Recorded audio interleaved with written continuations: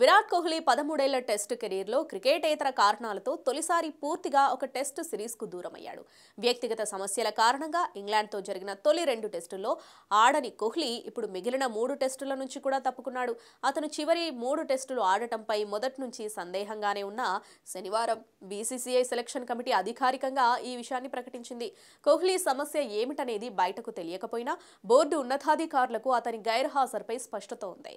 అయితే జట్టును ఎంపిక చేసే ముందు మరోసారి అతనితో మాట్లాడిన తర్వాతే సెలెక్టర్లు టీంను ప్రకటించారు. ఇక కోహ్లీ ఐపీఎల్లో దర్శనం ఇవ్వనున్నాడని సమాచారం. అటు రోహిత్ శర్మ నాయకత్వంలో పదిహేడు మంది సభ్యుల బృందాన్ని మిగిలిన మూడు టెస్టుల కోసం అజిత్ అగర్కర్ సారథ్యంలోని సెలక్షన్ కమిటీ ప్రకటించింది.